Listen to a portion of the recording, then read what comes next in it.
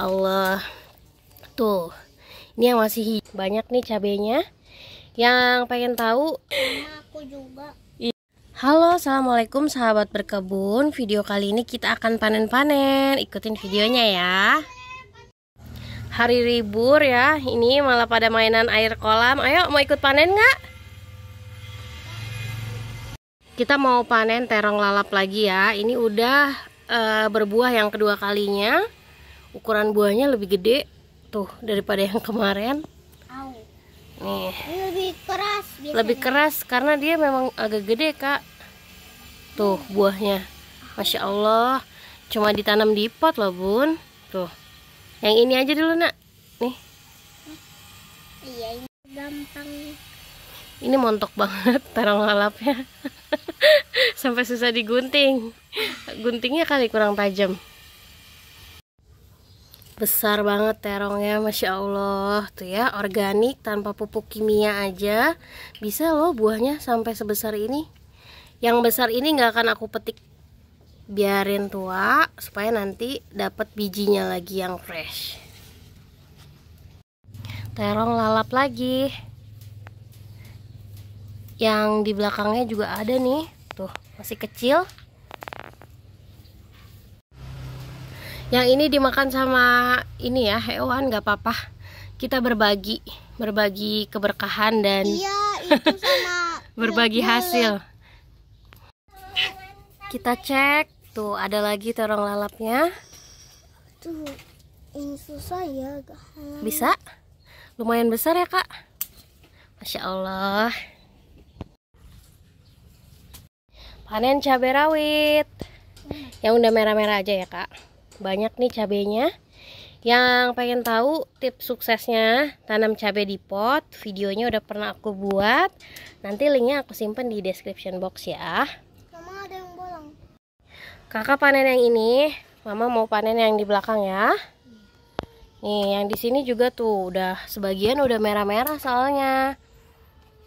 Sayang kalau kita nggak ambil keburu nanti kering-kering cabenya yang di sini juga udah ada yang merah-merah nih. Yang di sini cabenya lebih panjang. Mungkin nutrisinya lebih baik ya. Tuh. Ini pedas banget loh cabenya bun. Yang mau coba tanam cabai jenis ini boleh belanja bijinya ya di kebun Una. Nanti link belanjanya aku simpan juga di description box. Ini tuh jenis cabai yang adaptif di dataran rendah sampai tinggi dan dia tuh kuat banget sama hama. Adek juga ikutan panen adek. Masya Allah. Lihat nih ya di belakang daunnya tuh banyak banget hamanya. Aku tuh udah sampai nyerah karena gampang banget datang lagi datang lagi kan hamanya. Cuma karena ini cabenya jenisnya tuh kayaknya tahan banting ya. Jadi walaupun banyak hamanya, mereka tetap bisa bertumbuh dan berbuah dengan baik. Masya Allah. Tuh, ini yang masih hijau nih, enak banget nih untuk dibikin gorengan. Yuk, pada panen-panen cabe pagi-pagi, sekalian berjemur. nanti ke playground ya ma Nanti ke playground. Oke, sore ya. Pagi pagi-pagi mah kita panen dulu. Eh, coba lihat adek cabenya. Wah, lumayan ya nanti dijadiin satu. kenapa tidak diin satu Iya, emang ada buat apa cabe? buat jalan ada Buat jualan. Biarkan anak-anak yang panen ya, sekalian melatih motorik. Aku di sini mau panen kemangi. Ini kemangi udah berapa kali ya? Dipangkas, lebat dipangkas, rimbun dipangkas, malah makin seger kayak gini. Insya Allah. Kata siapa tanaman organik nggak bisa sehat, nggak bisa bagus ya? Bisa ini kemanginya aja sebagus ini. Nih ya, sekalian keliling kebun, sekalian petik-petikin cabai-cabai yang udah merah.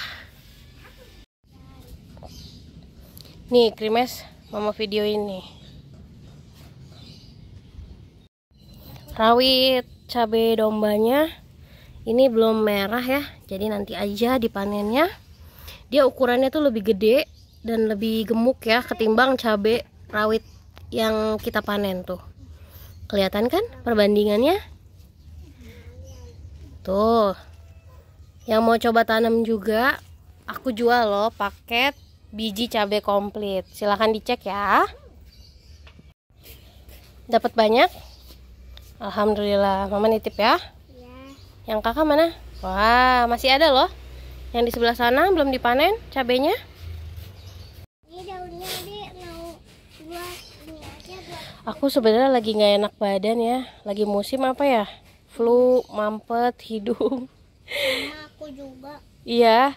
Mudah-mudahan habis panen bisa seger lagi ya badannya ya. Panen yang itu tuh nak? Oh masih merah-merah belum dipanen. Ini juga ya kacang panjang merah tuh banyak bergelantungan. Memang sengaja tidak aku panen karena aku mau ambil bijinya lagi.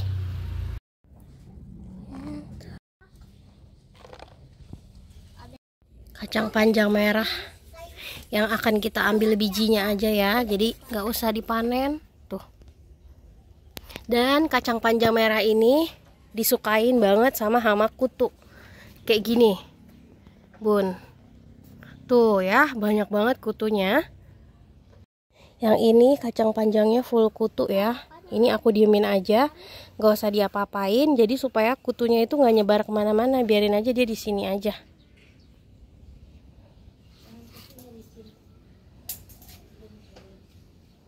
Mana? Kenapa sih? Ini kenapa seladanya layu gini? Kurang air apa? Siram dulu kali nak, seladanya nak. Lagi panen kemangi. Ya. Kemanginya banyak banget kita tanam nih. Karena pada doyan sama kemangi. Enak ya? Wangi. iya.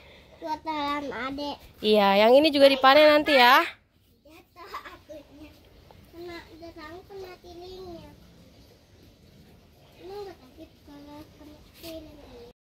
Lanjut, kita panen kucai.